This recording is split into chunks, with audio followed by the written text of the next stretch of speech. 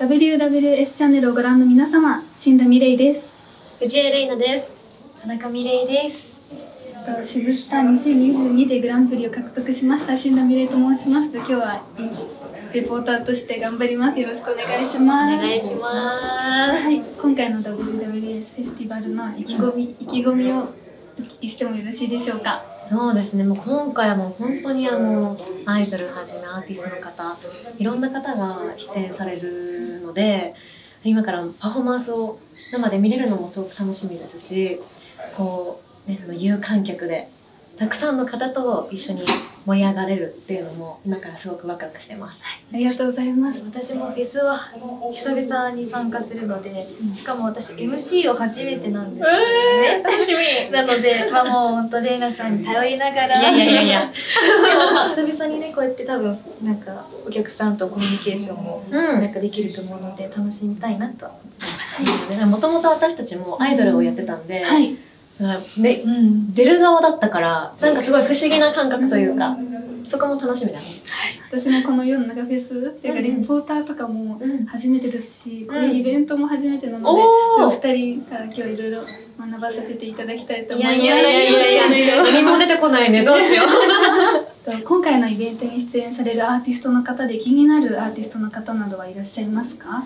えー、私はいやもちろんあのアイドルの皆さんもそうなんですけど、あのレオラさん。うーんそのまあシンガーの方なんですけど、あのリハーサルから一人で弾き語りしててその姿がかっこいいなと思って今からねあのリハからもちろんすごかったんですけど本番のパフォーマンスっていうのを注目したいなと思ってます。ありがとうございます。田中さんはいかがですか？私もそうですね。ふ皆さんフレッシュそうリハーサルとかも見てたんですけど横で、すごい皆さんフレッシュで。でも聞いたことある曲が。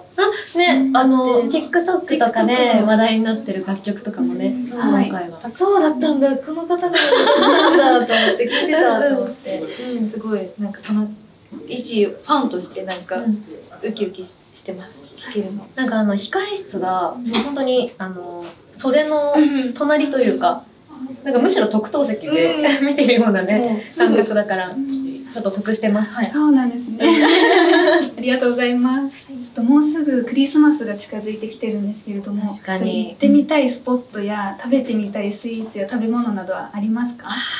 これはなあなんだろうな大好きで、あーそうなんであのファンの方からもプレゼントでいつも届くのがお酒、ー。一升瓶届いたりするんですけど、そうだから今回のクリスマスはあの恋人もいないんで一人であのお酒をひたすら飲もうかなって思ってます。いいですね。いいかな寂しいは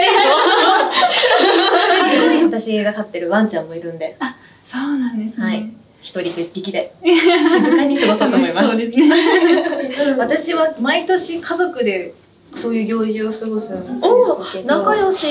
こん今年は妹に娘ができまして家族が増えたのででその子にとっては初のクリスマスなのでちょっと盛大にやろうっていう話はしてるのでいいお家ねでそれを見て私もほっこりしようかなって思います。